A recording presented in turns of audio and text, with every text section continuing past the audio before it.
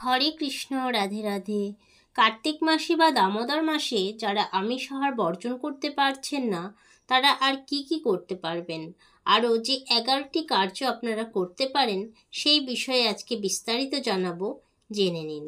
শ্রুতিশাস্ত্র, স্মৃতিশাস্ত্র, সকল শাস্ত্রেই ভগবানকে ভোগ নিবেদন করে কৃষ্ণ প্রসাদ গ্রহণের নির্দেশনা প্রদান করা হয়েছে।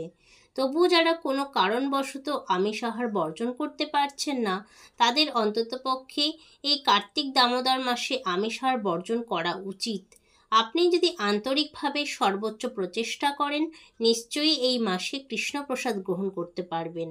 এরপরেও যদি কেউ পারিবারিক বা পারিপার্শ্বিক কোনো কারণে আমিষ জাতীয় প্রভৃতি আমিষ দ্রব্য কোনোভাবেই বর্জন করতে না পারেন তাহলে এই মাসে আর কি কি করতে পারবেন?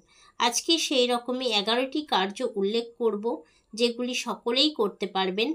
যেমন আমিষাহারী ওষুধ চলাকালীন এই নিয়মগুলি পালন করতে পারবেন এই মাসে। প্রিয় দর্শক বন্ধুরা, আজকে আমরা জেনে নেব এই এগারোটি কার্য কি কি। চলুন তাহলে জেনে নেওয়া যাক। প্রথমত অবশ্যই প্রতিদিন সন্ধ্যায় ভগবানকে দীপদান করবেন।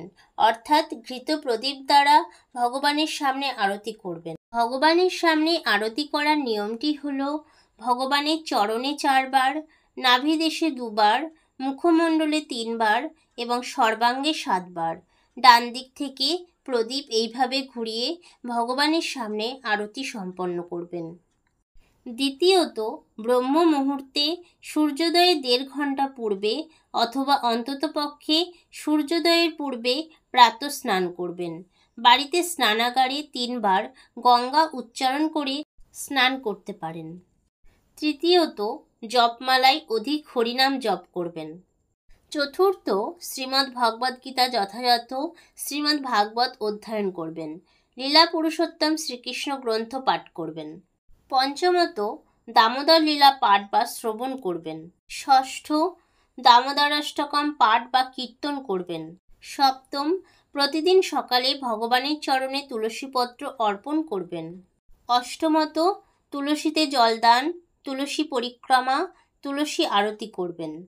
নবম, নিকটস্থ ইস্কন মন্দিরে সন্ধ্যায় গিয়ে দীপদান করতে পারবেন, মন্দির পরিক্রমা করবেন, মহাপ্রসাদ গ্রহণ করবেন।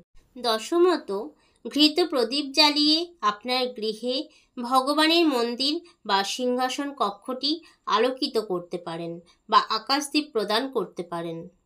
সর্বশেষ এবং একাদশতম, ভগবানকে অগস্ত পুষ্প মালতী ফুল পদ্ম ফুল অর্পণ করবেন। আজকে আমরা জানতে পারলাম এই দামোদর মাসে যারা কোনোভাবেই আমিষ আহার বর্জন করতে পারছেন না, যে এগারোটি বিশেষ কাজ আপনারা করতে পারবেন। আজকের এই গুরুত্বপূর্ণ আলোচনাটি সকলের কাছে পৌঁছে দিন, যাতে সকলেই উপকৃত হতে পারে। এই দুর্লভ মনুষ্য জীবনকে সার্থক করতে যুক্ত হন কৃষ্ণ ভাবনায়। হরে কৃষ্ণ হরে কৃষ্ণ কৃষ্ণ কৃষ্ণ, হরে হরে হরে রাম হরে রাম রাম রাম হরে হরে।